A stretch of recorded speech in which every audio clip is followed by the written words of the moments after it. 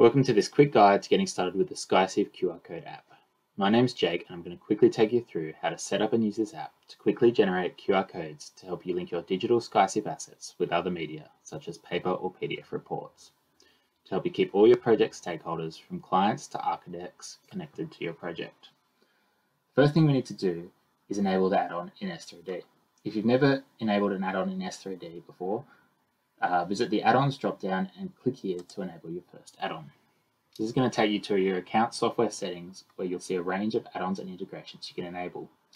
We'll scroll down to the S3D QR Codes app and we're going to toggle that on. Alright, now we're ready to use the add-on in SkyCiv Structural 3D. Alright, so I've returned to SkyCiv Structural 3D and I've already loaded a model that I made earlier. I'm going to go to my add-ons drop-down and you'll see that the QR Codes app is now available.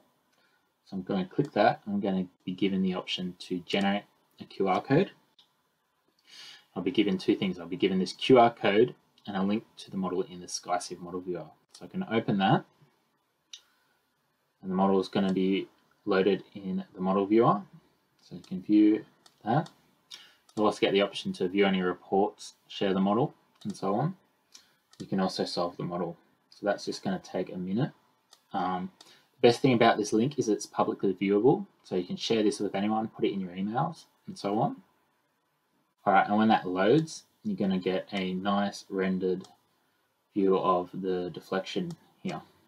So we're going to return to SkyCiv Structural 3D and look at the QR code now.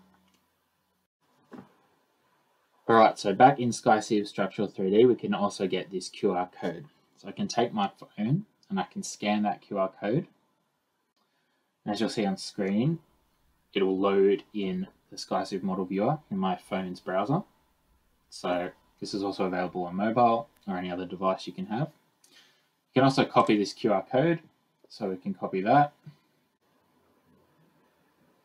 All right, and we can switch to, say, a Google document for a report we're writing, for example, and we can paste that QR code in there so that anyone that gets the document can scan that on their phone and open it the same way we just did.